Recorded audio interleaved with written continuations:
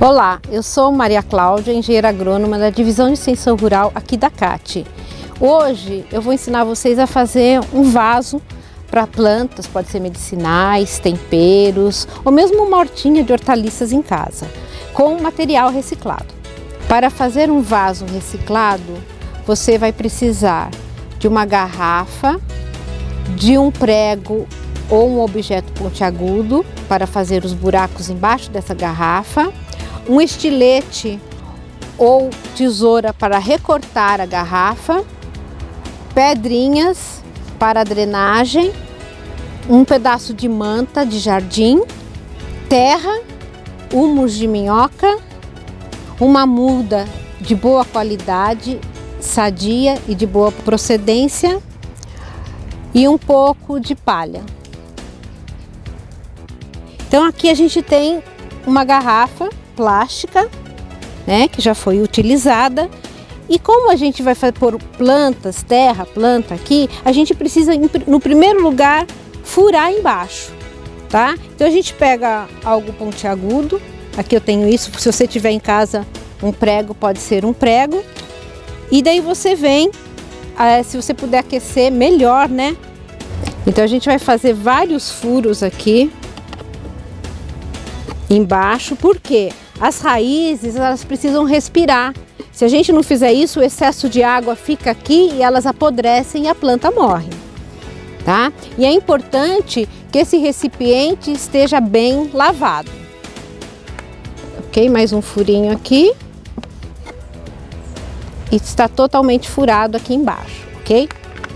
Depois que a gente furou, a gente vai fazer uma abertura superior. A gente pode cortar totalmente aqui em cima. Eu vou fazer um recorte que dê para a gente pendurar esse vasinho, ok? Então a gente pode, eu vou aproveitar até o desenho aqui da garrafa. Eu vou desenhar aqui o recorte mais ou menos que eu vou dar. E eu vou cortar aqui assim, deixar só uma alça aqui. Para ficar bem arejada a plantinha também, né? Eu estou acompanhando aqui mais ou menos o desenho da, da garrafa. Você pode fazer assim, deixar uma alça para cá, outra para lá também, ela fica bem arejada. Daí você pega uma tesoura ou um estilete, daí a gente vai cortando aqui.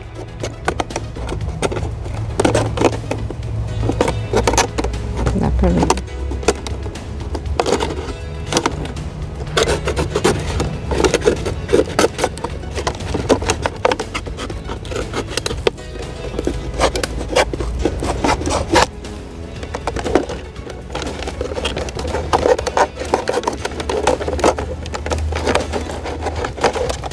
Agora que eu já recortei a garrafa, eu vou preparar o fundo. Para ter uma drenagem, a gente vai colocar, eu coloco uma, um pedaço de manta só para o excesso de água não, não sair sujo. Às vezes a gente coloca num, numa varanda de apartamento, então evita a sujeira. E a gente coloca pedriscos. Aqui eu estou pondo essas pedrinhas, mas você pode pôr qualquer seixo rolar, roliço, uma argila expandida, qualquer pedrinha que você tiver. Por que, que a gente faz isso? Para drenar a água, né? As raízes terem um, um espaço maior sem ter água, como eu falei, que elas podem não, para elas não apodrecerem. E agora a gente vai fazer uma mistura de terra. Aqui eu tenho uma terra e humus de minhoca tá? Então a gente faz, quando a gente tem essa terra, é uma terra boa, que ela não é, é muito argilosa, a gente faz uma mistura, uma parte de terra para uma parte de humus. Então eu vou colocar aqui, né? Vamos pôr assim, mas... Três pazinhas daqui de terra. Como é proporção um para um, eu vou fazer três pazinhas de humus.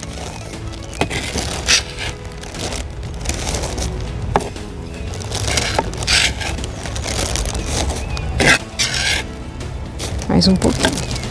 Tá Daí, vou misturar bem. A gente pode usar um saquinho, um baldinho, tá vendo? A gente mistura bem essa terra e esse humus. E a gente vai colocar aqui nesse recipiente, espera um pouquinho. Agora que a gente misturou bem a terra e o humus, a gente coloca aqui essa mistura dentro do recipiente, do meu vaso com garrafa reciclado de garrafa, certo?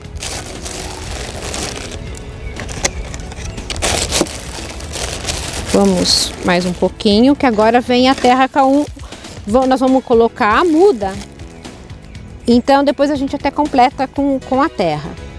Agora eu faço um, um, um buraquinho aqui no meio dessa terra para gente ajeitar a muda. Importante é sempre a gente tirar o saquinho ou o recipiente que veio a muda, né? Nunca plantar junto, né? Com esse, com esse plástico, tá?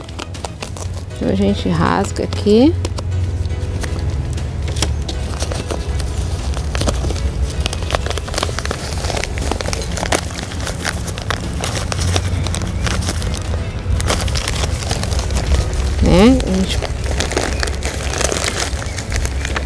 Esse aqui até, depois eu vou tirar um torrãozinho menor. Então agora a gente coloca a muda com muito cuidado aqui e a gente aperta assim um pouquinho ao redor da muda para ela fixar bem, tá? Isso aqui é muito importante.